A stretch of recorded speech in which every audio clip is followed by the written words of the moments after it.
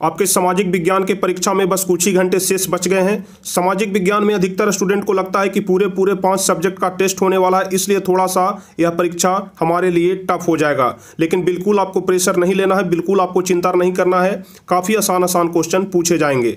आपके लिए यहाँ पर जो हम टेस्ट यहाँ पर रखे हैं, इसमें काफ़ी महत्वपूर्ण महत्वपूर्ण क्वेश्चन हम लिए हैं, जो कि सीधे सीधे आपके एग्ज़ाम में पूछे जा सकते हैं। तो आज आपका यह जो टेस्ट होने वाला है, यह गजब का टेस्ट होगा, लाजवाब टेस्ट होगा, शानदार टेस्ट होगा, बेहतरीन टेस्ट होने वाला है। आपको यह समझना है कि आज हम 19 फरवरी के दिन अपने परीक्षा हॉल में बैठे हुए हैं। हमारे सामने क्वेश्चन है। हमें एक एक क्वेश्चन का बहुत ही सोच समझ करके जवाब देना है। फटाफट से जवाब देना है ईमानदारी पूर्वक जवाब देना है। तो चलिए जल्दी जल्दी से आप लोग नीचे लाइव चैट में एक्टिव हो जाइए जवाब देने के लिए, क्योंकि आपका यह जो लाइव टेस्ट होने वाला है, काफ़ी महत्वपूर्ण होने वाला है। सीधे सीधे क्वेश्चन आपके एग्ज़ाम में पूछे जाएँगे। लेकिन हाँ इसके पहले यदि आप लोग चैनल पर नए हैं, पहली बार वीडियो देख रहे हैं तो चैनल को ज़रूर सब्सक्राइब कर लीजिएगा, ताकि आगे जितने सारे भी हम आपको गेस्ट क्वेश्चन दें वायरल क्वेश्चन दें वह सबसे पहले आप तक पहुँच सके। इसके लिए आपको सब्सक्राइब ज़रूर करना पड़ेगा तो फटाफट से आप लोग सब्सक्राइब कर लीजिए, ताकि आगे का भी सभी वीडियो आपके पास जल्दी से जल्दी पहुँचते रहे। तो चलिए हम लोग फटाफट से पहले नंबर क्वेश्चन की तरफ़ बढ़ते हैं और पहले नंबर क्वेश्चन से आप लोग बताना शुरू करिए। तो चलिए फटाफट से आप लोग पहला नंबर क्वेश्चन का जवाब बताइए। यूरोपीय सभ्यता का पालना किसे कहा जाता है? तो ध्यान रखिएगा, पहला का सही जवाब कौन सा हो जाएगा? यूरोपीय सभ्यता का पालना यूनान को कहा जाता है। यूरोपीय सभ्यता का पालना यूनान को, यानी कि डी नंबर ऑप्शन हमारा सही हो जाएगा। चलिए दूसरे नंबर क्वेश्चन की तरफ़ हम लोग बढ़ते हैं। दूसरा नंबर क्वेश्चन 1917 की रूसी क्रांति के समय किस जार का शासन था? 1917 की रूसी क्रांति के समय किस जार का शासन था? दूसरा नंबर क्वेश्चन फटाफट से आप लोग जवाब बताइए, कौन सा ऑप्शन सही होगा? तो दूसरा का सही जवाब हो जाएगा निकोलस द्वितीय। निकोलस द्वितीय का शासन था। किसका शासन था? 1917 की रूसी क्रांति के समय निकोलस द्वितीय का शासन था।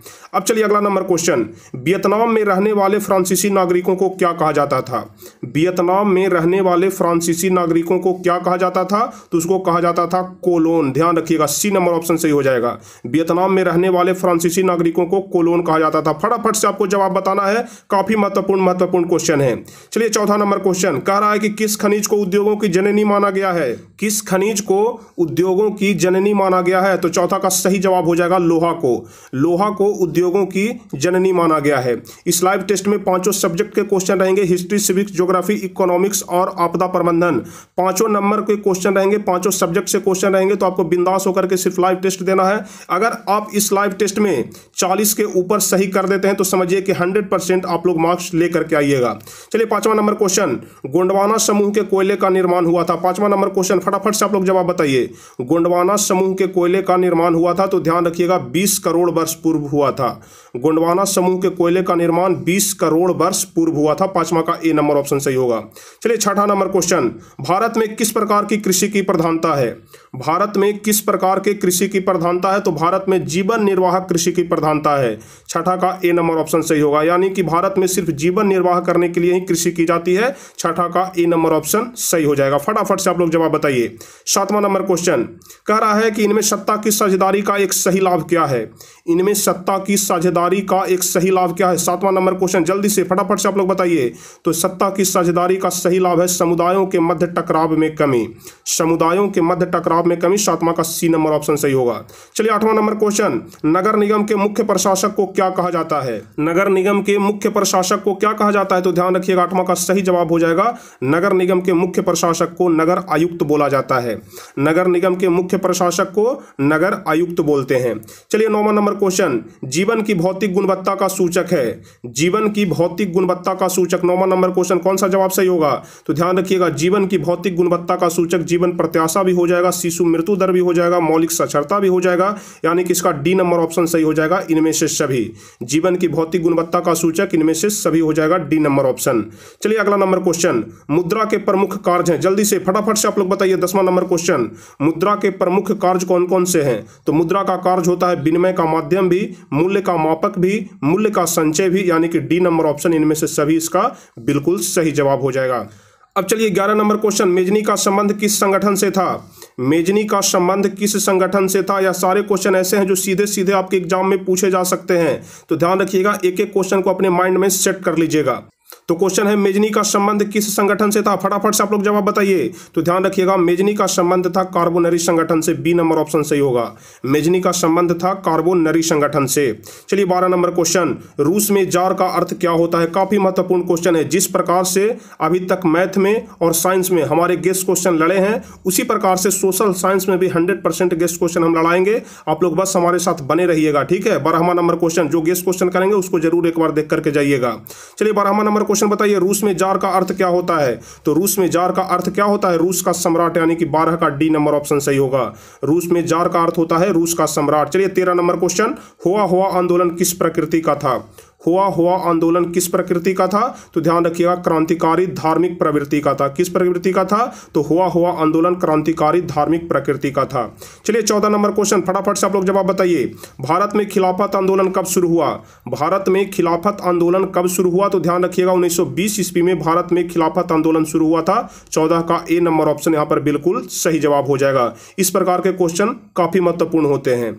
चलिए, पंद्रहवा नंबर क्वेश्चन, उन्नीस ईस्वी में भारत में पहला जूट मिल किस शहर में स्थापित हुआ? काफ़ी महत्वपूर्ण क्वेश्चन है। 1917 में भारत में पहला जूट मिल किस शहर में स्थापित हुआ? तो जल्दी से चलिए, इसका सही जवाब बताइए। जल्दी से आप लोग इसका सही जवाब बताइए, क्या हो जाएगा? कोलकाता आप लोग ध्यान रखिएगा, उन्नीस सौ सत्रह ईस्वी में भारत में पहला जूट मिल कोलकाता में स्थापित हुआ था। चलिए, सोलह नंबर क्वेश्चन क्या कह रहा है? पूंजीपति वर्ग के द्वारा किस वर्ग का शोषण हुआ? पूंजीपति वर्ग के द्वारा किस वर्ग का शोषण हुआ? तो ध्यान रखिएगा, सोलह का सही जवाब हो जाएगा कि श्रमिक वर्ग का भी, मध्यम वर्ग का भी, उसके अलावा जो किसान वर्ग थे, उनका भी शोषण हुआ, यानी कि डी नंबर ऑप्शन उपयुक्त सभी हो जाएगा। पूंजीपति वर्ग के द्वारा सभी वर्ग का शोषण किया गया। अब चलिए सत्रह नंबर क्वेश्चन को हम लोग देख लेते हैं। कह रहा है कि प्राचीन काल में किस स्थल मार्ग से एशिया और यूरोप का व्यापार होता था? ठीक है, काफ़ी महत्वपूर्ण क्वेश्चन। प्राचीन काल में किस स्थल मार्ग से एशिया और यूरोप का व्यापार होता था? सत्रह नंबर क्वेश्चन काफ़ी महत्वपूर्ण है। फटाफट से आप लोग जवाब बताइए। तो सत्रह का सही नंबर हो जाएगा बी नंबर ऑप्शन, रेशम मार्ग। उस मार्ग का क्या नाम है? तो रेशम मार्ग, बी नंबर ऑप्शन इसका सही जवाब हो जाएगा। चलिए अट्ठारह नंबर क्वेश्चन हम लोग देख लेते हैं। गुटेनबर्ग ने सर्वप्रथम पुस्तक की छपाई की। गुटेनबर्ग ने सर्वप्रथम किस पुस्तक की छपाई की तो गुटेनबर्ग ने सर्वप्रथम बाइबल पुस्तक की छपाई की डी नंबर ऑप्शन सही होगा। गुटेनबर्ग ने सर्वप्रथम बाइबल पुस्तक की छपाई की अठारह का डी नंबर ऑप्शन। चलिए उन्नीसवा नंबर क्वेश्चन। राष्ट्रपिता के नाम से किसे जाना जाता है? काफ़ी आसान क्वेश्चन है, इससे ज़्यादा आसान क्वेश्चन नहीं हो सकता है आपके एग्ज़ाम में। राष्ट्रपिता के नाम से महात्मा गांधी को जाना जाता है, सभी लोग जानते होंगे, बापू भी इन्हें बोला जाता है। चलिए बीसवा नंबर क्वेश्चन। कौन सा सामाजिक वर्ग बुद्धिजीवी वर्ग के रूप में उभर करके आया? बीसवा नंबर क्वेश्चन। फटाफट से आप लोग लाइक और शेयर करते जाइएगा, और जो भी स्टूडेंट नए हमारे साथ जुड़ रहे हैं, फटाफट से चैनल को सब्सक्राइब करिएगा ताकि जो गेस्ट क्वेश्चन हम आपको देने वाले हैं, सारे क्वेश्चन हंड्रेड आपके एग्ज़ाम में लड़ेंगे। तो फटाफट से आप लोग जल्दी से नीचे चैनल को सब्सक्राइब कर लीजिए। कौन सा सामाजिक वर्ग बुद्धिजीवी वर्ग के रूप में उभर करके आया? तो ध्यान रखिएगा मध्यम वर्ग। मध्यम वर्ग जो था वह बुद्धिजीवी वर्ग के रूप में उभर करके आया। बीसवा का डी नंबर ऑप्शन सही होगा। अब चलिए इक्कीसवा नंबर क्वेश्चन। क्या कह रहा है, जब हम लैंगिक विभाजन की बात करते हैं तो हमारा अभिप्राय क्या होता है? जब हम लैंगिक विभाजन की बात करते हैं तो हमारा अभिप्राय क्या होता है? तो हमारा अभिप्राय होता है कि समाज द्वारा स्त्रियों और पुरुषों को दी गई असमान भूमिकाएँ। समाज के द्वारा, स्त्रियों और पुरुषों के द्वारा दी गई असमान भूमिकाएँ के बारे में हम लोग लैंगिक विभाजन में बात करते हैं इसका बी नंबर ऑप्शन सही हो जाएगा। चलिए, बाईसवा नंबर क्वेश्चन का फटाफट से आप लोग जवाब बताइए, निम्नलिखित में कौन संघ राज की विशेषता नहीं है? निम्नलिखित में कौन संघ राज की विशेषता नहीं है? तो संघ राज की विशेषता एक हरी शासन प्रणाली नहीं है सी नंबर ऑप्शन सही होगा। जितना फास्ट हम क्वेश्चन पढ़ रहे हैं, उतना फास्ट ही आप लोग जवाब देते जाइए, क्योंकि आपके पास समय बहुत कम है। आपको कम समय में अधिक क्वेश्चन का रिवाइज करना है, बाईस का सी नंबर ऑप्शन सही हो जाएगा। चलिए अगला नंबर क्वेश्चन, बिहार में संपूर्ण क्रांति का नेतृत्व किसने किया? बिहार में संपूर्ण क्रांति का नेतृत्व किसने किया? तो जयप्रकाश नारायण ने डी नंबर ऑप्शन सही होगा। बिहार में संपूर्ण क्रांति का नेतृत्व जयप्रकाश नारायण ने किया। चलिए, चौबीस नंबर क्वेश्चन, इनमें से कौन सी एक बात लोकतांत्रिक व्यवस्थाओं के अनुरूप नहीं है? इनमें से कौन सी एक बात लोकतांत्रिक व्यवस्थाओं के अनुरूप नहीं है? तो इसका डी नंबर ऑप्शन सही हो जाएगा, बहुसंख्यकों का शासन। बहुसंख्यकों का शासन लोकतांत्रिक व्यवस्थाओं के अनुरूप नहीं है। चौबीस का डी नंबर ऑप्शन सही जवाब हो जाएगा। चलिए पच्चीसवां नंबर क्वेश्चन, भारत एक लोकतांत्रिक राज्य है। निम्नलिखित में यह यह घोषणा किसमें की गई है? जल्दी से। भारत एक लोकतांत्रिक राज्य है, निम्नलिखित में किसमें यह घोषणा की गई है? तो यह घोषणा प्रस्तावना में की गई है कि भारत एक लोकतांत्रिक राज्य है, पच्चीस का ए नंबर ऑप्शन सही हो जाएगा। पच्चीस का ए नंबर ऑप्शन। चलिए छब्बीस नंबर क्वेश्चन, कह रहा है कि किस लोकसभा चुनाव के बाद महिलाओं की भागीदारी दस प्रतिशत से अधिक हो गई? किस लोकसभा चुनाव के बाद? तो ध्यान रखिएगा, पंद्रहवीं लोकसभा चुनाव के बाद महिलाओं की भागीदारी दस प्रतिशत से अधिक हो गई। छब्बीस का बी नंबर ऑप्शन सही हो जाएगा। चलिए सत्ताईस नंबर क्वेश्चन, निम्नलिखित में से कौन राष्ट्रीय दल है? निम्नलिखित में से राष्ट्रीय दल कौन है? तो राष्ट्रीय दल हो जाएगा भारतीय जनता पार्टी। यह वाला क्वेश्चन भी काफ़ी आसान क्वेश्चन है, लेकिन महत्वपूर्ण है, आपके एग्ज़ाम में पूछे जा सकते हैं। कौन है जो राष्ट्रीय दल है? तो भारतीय जनता पार्टी बीजेपी लोकतंत्र का प्राण किसे कहा गया है? नंबर क्वेश्चन, फटाफट से आप लोग जवाब बताइए। लोकतंत्र का प्राण किसे कहा गया है? राजनीतिक दल, अट्ठाईस का ए नंबर ऑप्शन सही हो जाएगा। अगर आप इस लाइव टेस्ट में चालीस, पचास, साठ नंबर ला रहे हैं तो समझिए कि हंड्रेड आप लोग का मार्क्स आएगा सोशल साइंस में। ऑब्जेक्टिव क्वेश्चन में, इसलिए आप लोग फटाफट से जवाब बताते जाइए। और जो क्वेश्चन हम सब्जेक्टिव में गेस किए हैं, उसको भी आप लोग ज़रूर देख लीजिएगा। चलिए फटाफट से, उनतीस नंबर क्वेश्चन भारत में संघ एवं राज्यों के बीच अधिकारों का विभाजन कितनी सूचियों में हुआ है? भारत में संघ एवं राज्यों के बीच अधिकारों का विभाजन कितनी सूचियों में हुआ है तो इसका सही जवाब हो जाएगा तीन सूचियों में। उनतीस का ए नंबर ऑप्शन सही हो जाएगा। अब चलिए अगला नंबर क्वेश्चन। क्वेश्चन नंबर तीस, निम्नलिखित में कौन लोकतंत्र में रंग भेद के विरोधी नहीं थे? रंग भेद के विरोधी नहीं थे। कौन लोकतंत्र में जल्दी से कौन थे? जेड गुड्डी हो जाएगा। डी नंबर ऑप्शन सही हो जाएगा। जेड गुड्डी लोकतंत्र में रंग भेद के विरोधी नहीं थे। डी नंबर ऑप्शन सही हो जाएगा। चलिए इकतीस नंबर क्वेश्चन सासाराम नगर का विकास हुआ था। सासाराम नगर का विकास हुआ था कौन से युग में? तो ध्यान रखिएगा मध्यम युग में ए नंबर ऑप्शन सही हो जाएगा, मध्य युग में। इकतीस का ए नंबर ऑप्शन बिल्कुल सही हो जाएगा। चलिए बत्तीस नंबर क्वेश्चन का जवाब आप लोग बताइए। बत्तीस नंबर क्वेश्चन है कि अविभाजित बिहार में निम्नलिखित में कौन एकमात्र नियोजित नियोजित नगर था? अविभाजित बिहार में निम्नलिखित में कौन एकमात्र नियोजित नगर था? तो इसका सही जवाब हो जाएगा जमशेदपुर। सिर्फ़ और सिर्फ़ जमशेदपुर ही एक नियोजित नगर था। बत्तीस का सी नंबर ऑप्शन सही होगा। चलिए तैतीस नंबर क्वेश्चन पटना हवाई अड्डा का नाम। पटना हवाई अड्डा का नाम क्या है? तो पटना हवाई अड्डा का नाम है जयप्रकाश नारायण अंतर्राष्ट्रीय हवाई अड्डा, या फिर उसको हवाई पतन भी बोला जाता है।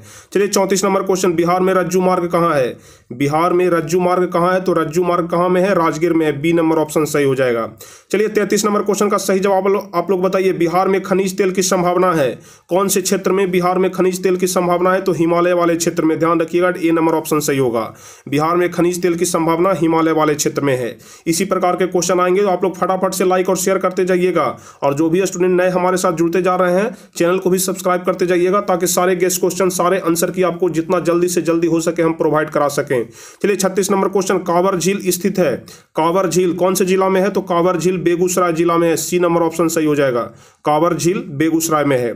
सैंतीस नंबर क्वेश्चन संजय गांधी जैविक उद्यान किस नगर में स्थित है? संजय गांधी जैविक उद्यान किस नगर में स्थित है? तो इसका सही जवाब हो जाएगा पटना में। संजय गांधी जैविक उद्यान पटना में स्थित है। चलिए अड़तीस नंबर क्वेश्चन। निम्नलिखित में कौन सड़कों का एक वर्ग नहीं है? निम्नलिखित में कौन सड़कों का एक वर्ग नहीं है? तो इसका सही जवाब हो जाएगा पूर्व पश्चिम गलियारा। पूर्व पश्चिम गलियारा सड़कों का एक वर्ग नहीं है। उसके अलावा जो सीमांत में होता है वह सड़कों का एक वर्ग है। स्वर्णिम चतुर्भुज राजमार्ग सड़कों का एक वर्ग है। सीमांत सड़कें भी सड़कों का एक वर्ग है। अड़तीस का ए नंबर ऑप्शन सही होगा। उनचालीस नंबर क्वेश्चन। तो क्वेश्चन कह रहा है कि जिस देश का राष्ट्रीय आय अधिक होता है, वह देश क्या कहलाता है।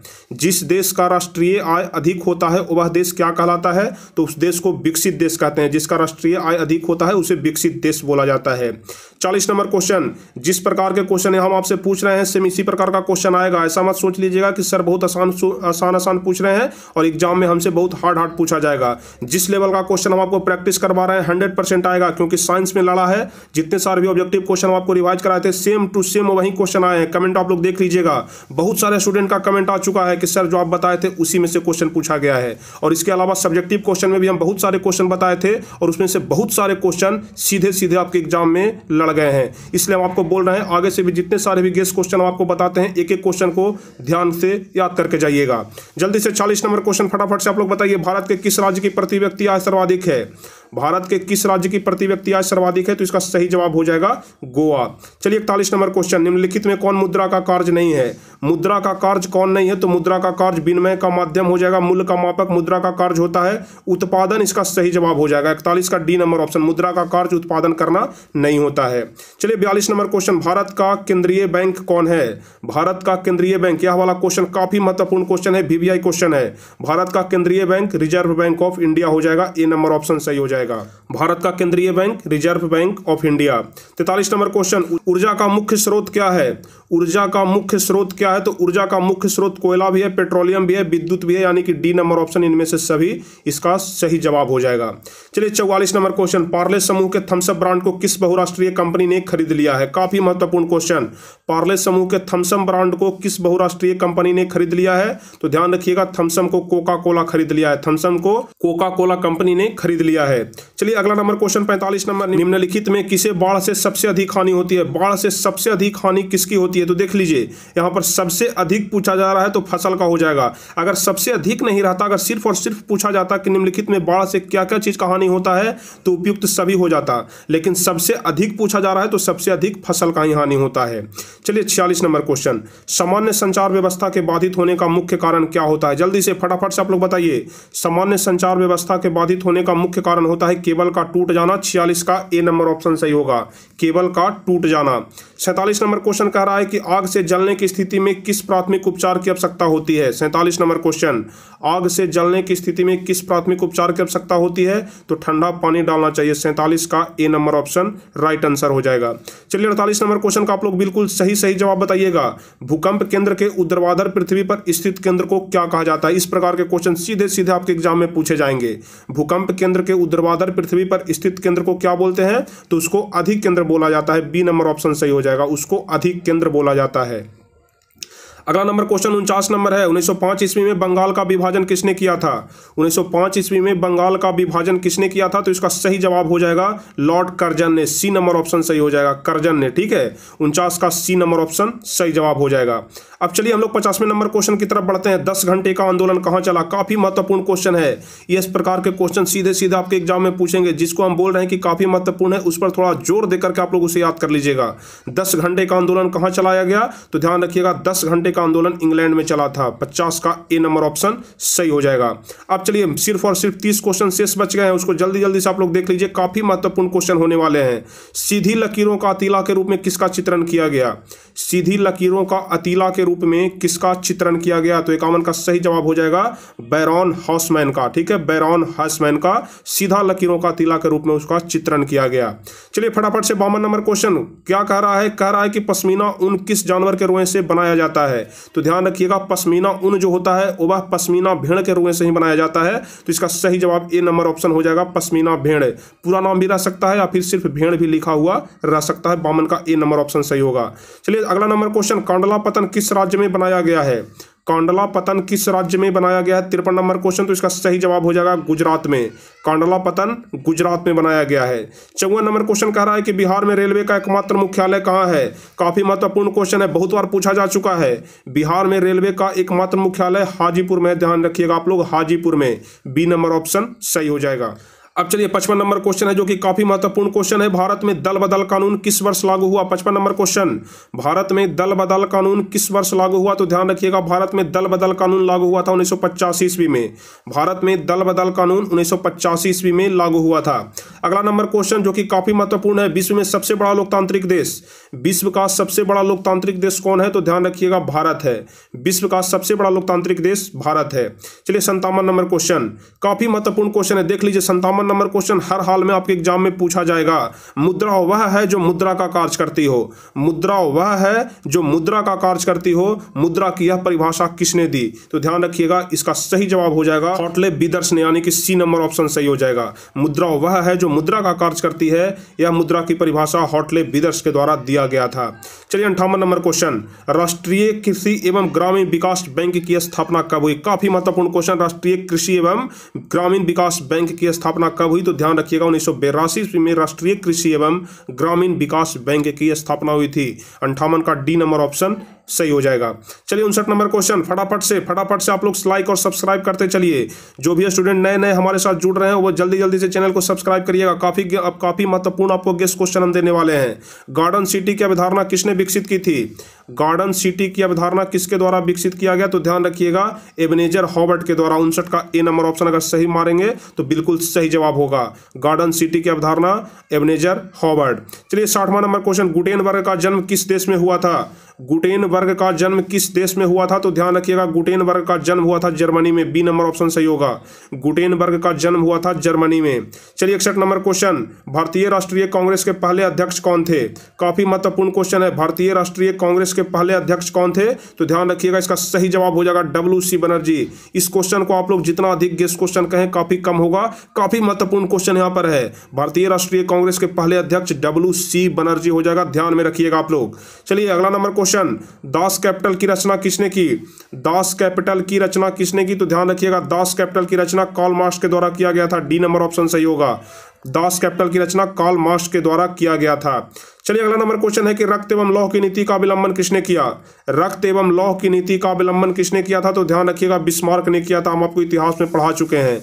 रक्त एवं लौह की नीति का अवलंबन बिस्मार्क ने किया था। चलिए अगला नंबर क्वेश्चन है कि गैरी बाल्डी पेशे से क्या था? यह वाला क्वेश्चन भी काफ़ी महत्वपूर्ण क्वेश्चन है। गैरी बाल्डी पेशे से क्या था? तो ध्यान रखिएगा गैरी बाल्डी पेशे से एक नाविक था। गैरीबाल्डी पेशे से एक नाविक था, आप लोग ध्यान रखिएगा। चलिए अगला नंबर क्वेश्चन है, पैंसठ नंबर क्वेश्चन, रूस में कृषक दास प्रथा का अंत कब हुआ?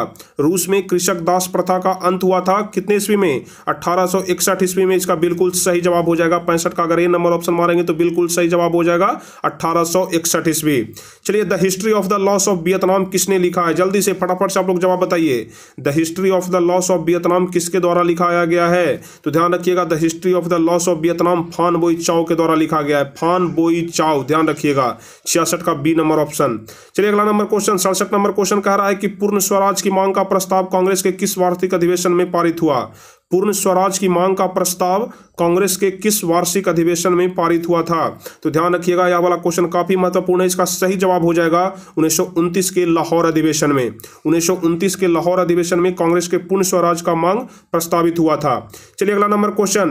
A I T UC का प्रथम अध्यक्ष किसे बनाया गया? जल्दी से। All India Trade Union Congress. A I T UC का फुल फॉर्म भी आपसे पूछा जा सकता है। तो ध्यान रखिएगा ए का फुल फॉर्म होता है All India Trade Union Congress. इसका प्रथम अध्यक्ष किसे बनाया गया था? लोग ध्यान रखिएगा ए का प्रथम अध्यक्ष लाला लाजपत राय को बनाया गया था। अड़सठ का बी नंबर ऑप्शन सही हो जाएगा। चलिए उनहत्तर नंबर क्वेश्चन कह रहा है कि काली मृदा का दूसरा नाम क्या है? काफ़ी महत्वपूर्ण क्वेश्चन है भूगोल का। काली मृदा का दूसरा नाम क्या है? तो ध्यान रखिएगा, काली मृदा का दूसरा नाम होता है रेगुर मृदा उनहत्तर का बी नंबर ऑप्शन सही हो जाएगा। चलिए सत्तर नंबर क्वेश्चन फटाफट से दस क्वेश्चन और शेष बच गए हैं। काफ़ी महत्वपूर्ण क्वेश्चन है। एक क्वेश्चन को भी आप लोग मिस मत करिएगा, नहीं तो आपसे एक नंबर मिस हो सकता है। सत्तर नंबर क्वेश्चन, भारत के किस राज्य में वन का सबसे अधिक विस्तार है?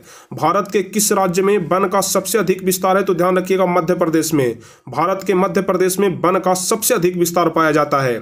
चलिए इकहत्तर नंबर क्वेश्चन कह रहा है कि कौन से राज्य में खनिज तेल का विशाल भंडार है? जल्दी से बताइए, किस राज्य में खनिज तेल का विशाल भंडार है। इकहत्तर नंबर क्वेश्चन तो इसका सही जवाब हो जाएगा असम में। असम में खनिज तेल का विशाल भंडार है। चलिए, बहत्तर नंबर क्वेश्चन कह रहा है कि इनमें कौन उपभोक्ता उद्योग है? इसमें से कौन उपभोक्ता उद्योग है? बहत्तर नंबर क्वेश्चन तो सही जवाब क्या हो जाएगा? सही जवाब हो जाएगा चीनी उद्योग। सही जवाब हो जाएगा चीनी उद्योग को उपभोक्ता उद्योग भी बोला जाता है। चलिए, फटाफट से आठ क्वेश्चन इससे बचे हैं। आठों क्वेश्चन का जवाब हम लोग जानेंगे। नागपुर सड़क योजना के अंतर्गत सड़कों को कितने भागों में बांटा गया? नागपुर सड़क योजना के अंतर्गत सड़कों को कितने भागों में बांटा गया तो ध्यान रखिएगा, नागपुर सड़क योजना के अंतर्गत सड़कों को चार भागों में बांटा गया है। सड़कों को चार भागों में बांटा गया है, नागपुर सड़क योजना के अंतर्गत। अब चलिए चौहत्तर नंबर क्वेश्चन कह रहा है कुशेश्वर स्थान किस ज़िले में स्थित है? फटाफट से जवाब बताइए, कुशेश्वर स्थान किस ज़िले में स्थित है? तो आप लोग ध्यान रखिएगा कि कुशेश्वर स्थान दरभंगा में है। कहाँ में है कुशेश्वर स्थान? तो दरभंगा में, चौहत्तर का बी नंबर ऑप्शन सही होगा। चलिए, पचहत्तर नंबर क्वेश्चन, संजय गांधी जैविक उद्यान किस नगर में स्थित है? तो हम आपको बता दिए हैं कि संजय गांधी जैविक उद्यान पटना में है, पचहत्तर का डी नंबर ऑप्शन सही हो जाएगा।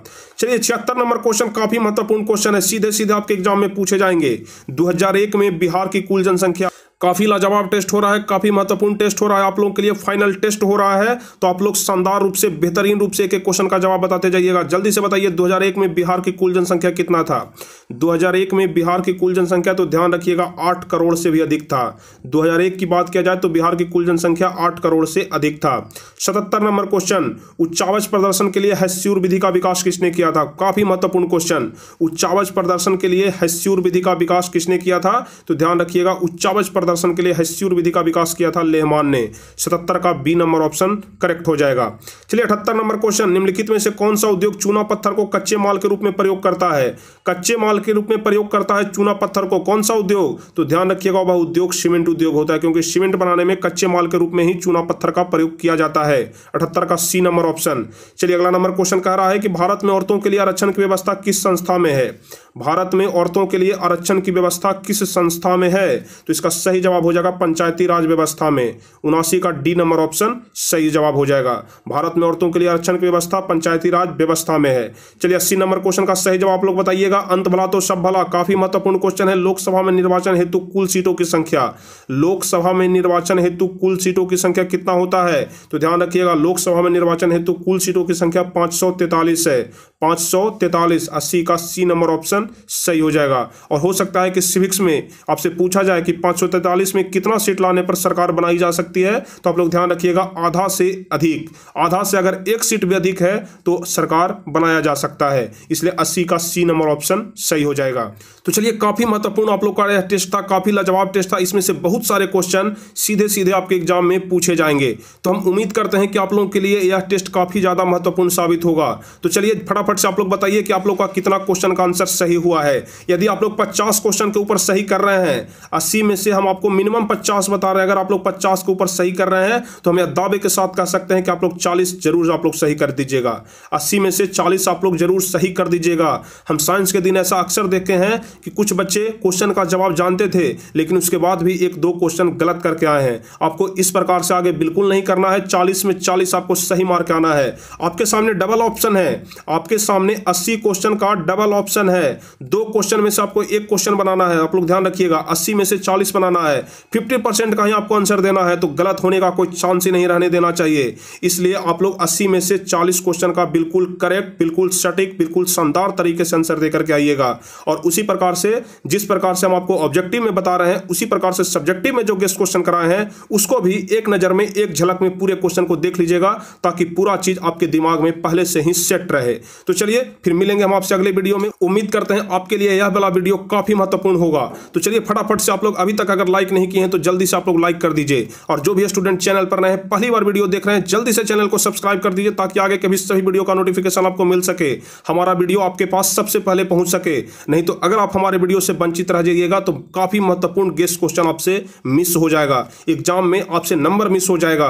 इसलिए आप लोग जल्दी से जल्दी, फटाफट से चैनल को सब्सक्राइब कर दीजिए ताकि जैसे ही हम आपके क्विज क्वेश्चन दें वायरल क्वेश्चन दे तो फटाफट से आप उस क्वेश्चन को प्राप्त कर सकें। जल्दी से वह क्वेश्चन आपके पास पहुँच सके। तो फटाफट से चैनल को सब्सक्राइब कर दीजिए। चलिए फिर मिलेंगे आपसे अगले वीडियो में। हमारी दुआएँ आपके साथ है। हम उम्मीद करते हैं कि आप सभी लोग बेहतरीन नंबर लाइएगा। माँ सरस्वती का आशीर्वाद आप पर हमेशा बना रहेगा। माँ सरस्वती आप पर अपनी कृपा दृष्टि हमेशा बनाए रखेंगे। तो चलिए फिर मिलेंगे आपसे अगले वीडियो में। तब तक के लिए जय हिंद। धन्यवाद।